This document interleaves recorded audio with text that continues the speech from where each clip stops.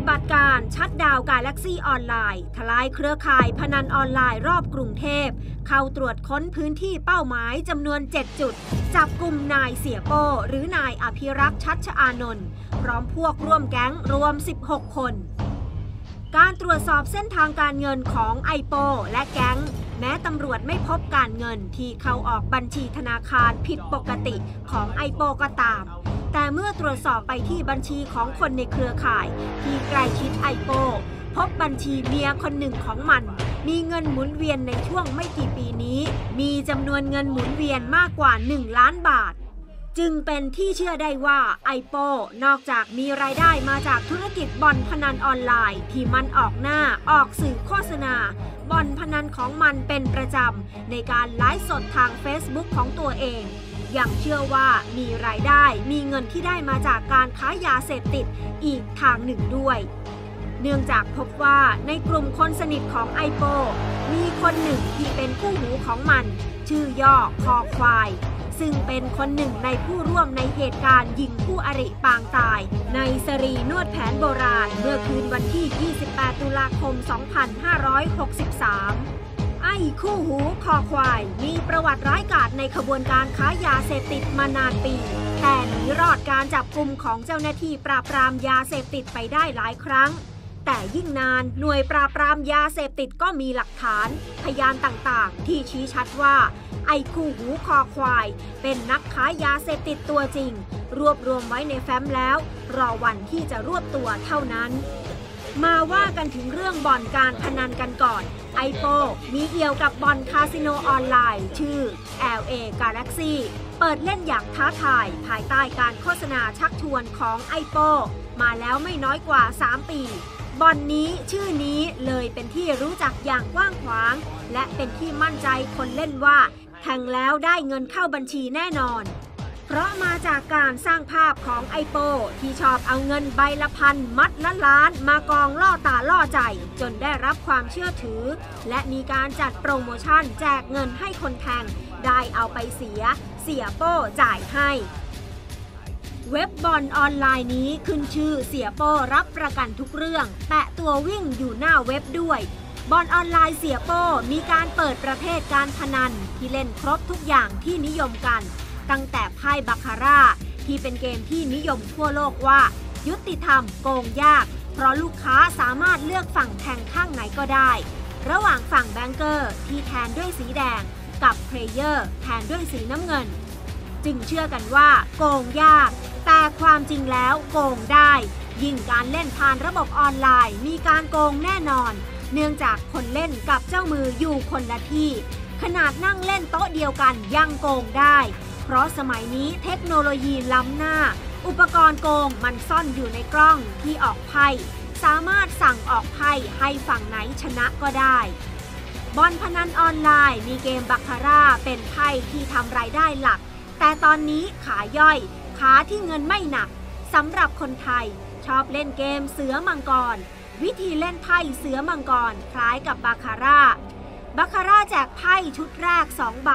แต่เสือมังกรแจกไพ่ฝั่งละใบ เปิดไพ่และวัดแต้มว่าฝั่งไหนได้แต้มมากกว่า ฝั่งนั้นชนะเดิมพันทันที นักพนันไทยชอบเสือมังกร เพราะลุ้นได้เสียเร็วใบเดียวจบ เกมพนันคลาสสิกอีกเกมก็คือไฮโล เป็นที่ชื่นชอบในหมู่คนเล่น โดยไฮโลแยกประเภทการแทงออกเป็น การแทงเต็ง การแทงโต๊ด การแทงสูงต่ำ การแทงแต้มรวม ซึ่งการแทงแต่ละแบบจะได้ผลตอบแทนมากน้อยเมื่อชนะไม่เหมือนกัน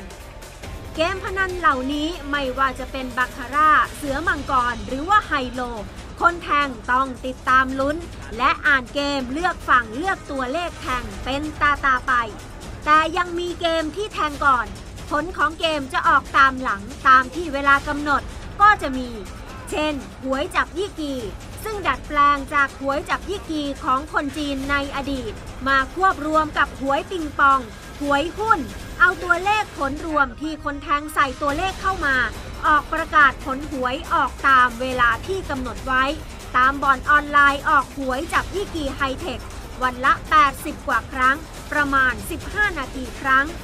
หวยใต้ดินก็ถูกเอาขึ้นเป็นหวยออนไลน์ ทุกบ่อนออนไลน์จะมีเปิดบริการรับแทงหวยออนไลน์ แต่ไม่ได้มีเฉพาะของกองสลาก เงินแบ่งของประเทศไทย ที่มีแค่งวดออกวันที่ 1 และ 16 ของทุกเดือนเท่านั้นบอลออนไลน์มีหวยใต้ดินออนไลน์ ให้แข่งได้ทุกวัน คือเอาหวยรัฐบาลของเวียดนาม ลาว มาเลเซีย มาพนันรับแทง ที่ออกหวยทุกวัน ก็มีหวยเวียดนาม เรียกกันในหมู่คนเล่นว่า หวยฮานอย จะมีหวยออกวันละ 3 รอบ มาเลหนึ่งรอบ ส่วนลาวสัปดาห์หนึ่งออก 2 วัน นอกจากการเล่นพนันที่ว่ามา ซึ่งต้องเล่นเองคิดเอง ยังมีเกมพนันฟุตบอล ที่เปิดให้แทงตามเข็มนาฬิกาตามพระอาทิตย์ขึ้น ไล่จากเช้าตรู่บอลประเทศนิวซีแลนด์ ออสเตรเลีย สิงคโปร์ไทย เวียดนาม เกาหลี ญี่ปุ่น จนเย็นถึงดึกที่ยุโรปทั้งทวีป ก่อนฟ้าสางที่สหรัฐอเมริกา อาร์เจนตินา บราซิล ชิลี แล้ววนกลับไปที่นิวซีแลนด์ เว็บพนันออนไลน์ไม่เคยหลับ มีการเล่นได้เสียในการพนันประเภทต่างๆ ตลอด 24 ชั่วโมง ยุคนี้ธุรกิจการพนันออนไลน์ จึงเป็นคุ้มทรัพย์สุดขอบฟ้าที่มีมูลค่ามหาศาล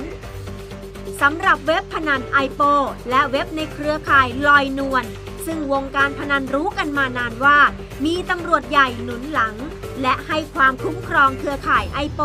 เพราะได้ทั้งสวยส่งรายเดือนจำนวนมาก และเป็นหุ้นส่วนอยู่ก็มี